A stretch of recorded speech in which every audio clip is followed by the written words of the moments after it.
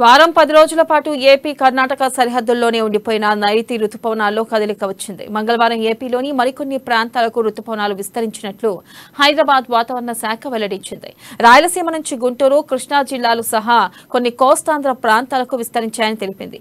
మరో రెండు మూడు రోజుల్లో తెలంగాణ సహా దక్షిణాది మొత్తం విస్తరిస్తాయని పేర్కొంది. ఇక నైరుతి రుతుపవనాల ప్రభావంతో ఏపీలోని విజయవాడ గుంటూరు మచిలీపట్నం తదితర ప్రాంతాల్లో భారీ వర్షాలు కురిశాయి.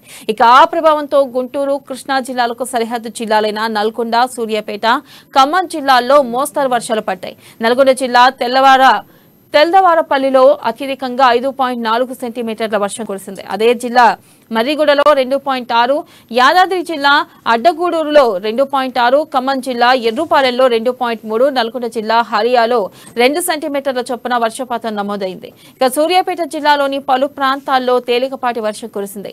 రంగారెడ్డి జిల్లా హైదరాబాద్ సిటీలోనూ వాతావరణం కొద్దిగా చల్లబడింది.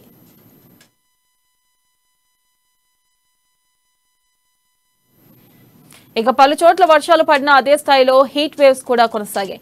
ఆదిలాబాద్ నల్గొండ కొత్తగూడెం మెదక్ నిజామాబాద్ పెద్దపల్లి జిల్లాల్లో వడగాల్పులు వీచాయి. టెంపరేచర్లు నలభై ఐదు డిగ్రీల కన్నా తక్కువగానే నమోదైన సాధారణానికి మించి ఐదారు డిగ్రీలు ఎక్కువగానే రికార్డ్ అయ్యాయి.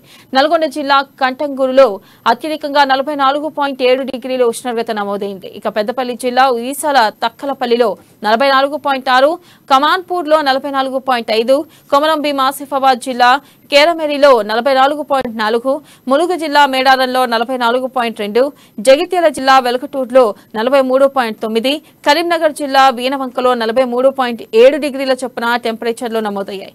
అయితే నేటి నుంచి నాలుగు రోజుల పాటు పలు జిల్లాల్లో తేలికపాటి నుంచి మోస్తరు వర్షాలు కురిసే అవకాశం ఉందని వాతావరణ శాఖ హెచ్చరిక వెల్లడించింది.